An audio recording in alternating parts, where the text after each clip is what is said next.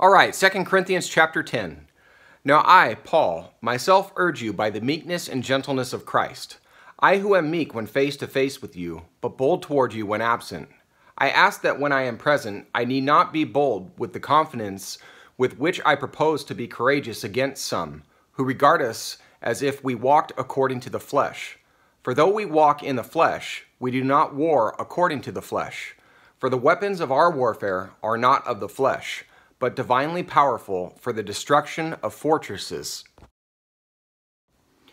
We are destroying speculations and every lofty thing raised up against the knowledge of God, and we are taking every thought captive to the obedience of Christ, and we are ready to punish all disobedience whenever your obedience is complete.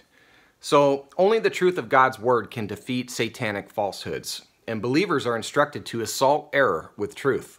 When people, especially those who enter the church, speak against what's written in Scripture with reasonings, philosophies, and false religions of men, that's when we need to gently try to expose truth and love without getting into useless argument. Uh, the pastoral staff may need to get involved if it can't be worked out one on one. Verse 7 You are looking at things as they are outwardly. If anyone is confident in himself that he is Christ's, let him consider this again within himself that just as he is Christ's, so also are we. For even if I boast somewhat further about our authority, which the Lord gave for building you up and not for destroying you, I will not be put to shame. For I do not wish to seem as if I would terrify you by my letters.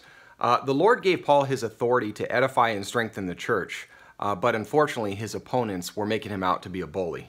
Verse 10 For they say, His letters are weighty and strong but his personal presence is unimpressive and his speech contemptible. Let such a person consider this, that what we are in word by letters when absent, such persons we are also indeed when present.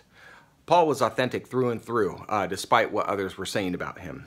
Verse 12 For we are not bold to class or compare ourselves with some of those who commend themselves, but when they measure themselves by themselves and compare themselves with themselves, they are without understanding. But we will not boast beyond our measure, but within the measure of the sphere which God apportioned to us as a measure, to reach even as far as you. For we are not overextending ourselves, as if we did not reach to you, for we were the first to come even as far as you in the gospel of Christ, not boasting beyond our measure, that is, in other men's labors, but with the hope that as your faith grows, we will be, within our sphere, enlarged even more by you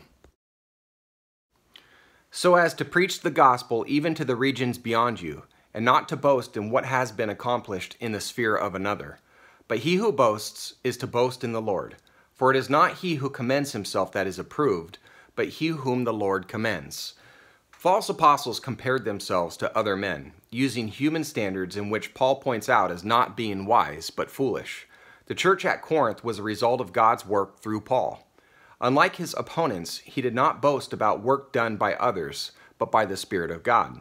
Once the church's faith grew and matured, he could then expand the area of activity by evangelizing other Gentiles in regions beyond them, such as Spain, which was seen in Romans chapter 15. They could take part in this work by prayer and financial support, but first they needed to get their own house in order. And uh, hopefully all of our houses are in order as well. Uh, thanks, guys. Appreciate you being here. Always good to examine where we're at in our walk daily and uh, to repent and lift up our prayers to the Lord. Thank you, guys. God bless you and take care.